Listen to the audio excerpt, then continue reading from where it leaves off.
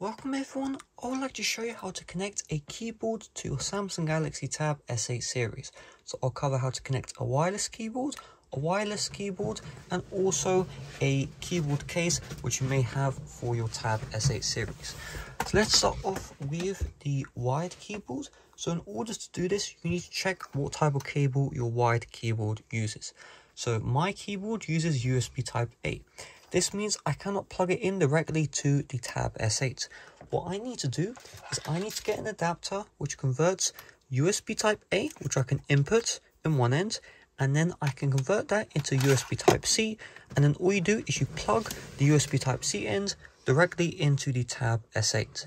So we'll just give it a couple of seconds. You can see the keyboard is lit up, and now we are good to go. So you can see here, just like that, everything is fully working on the keyboard end.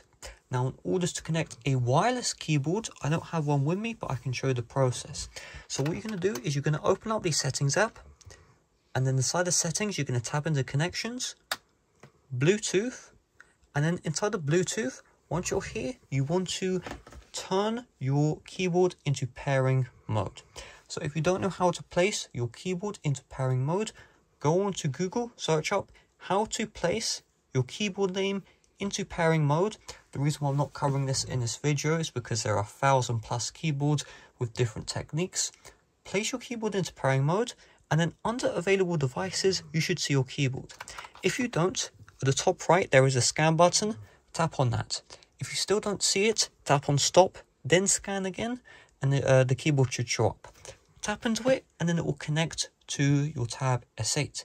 If you're having issues with the connection, turn off Bluetooth, turn, uh, turn it back on, scan again, and then that should solve any uh, issues.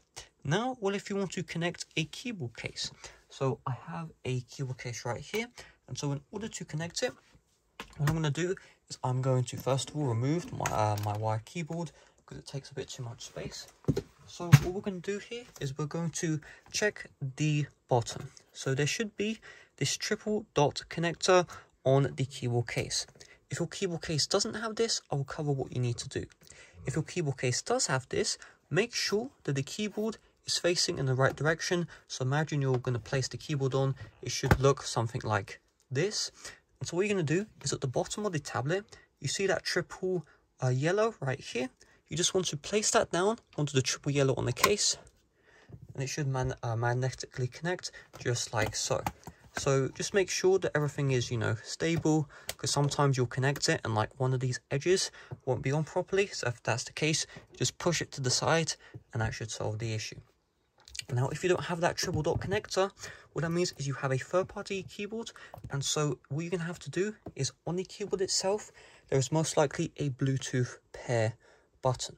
Tap on the Bluetooth pair button and then from there, head over to settings, connections, Bluetooth, and then from here, make sure Bluetooth's turned on, and under available devices, your keyboard should show up. I covered the troubleshooting earlier for if you're trying to connect a Bluetooth keyboard, which your keyboard case uh, essentially is, and that is covered again earlier in the video and then follow that troubleshooting and your keyboard should be connected just keep in mind if you're using that bluetooth keyboard make sure you double check how to pull it into pairing mode. There should be an instruction manual on that keyboard case or on the listing which should show you how to do that. So with that being said thanks for watching. See you guys later. Bye bye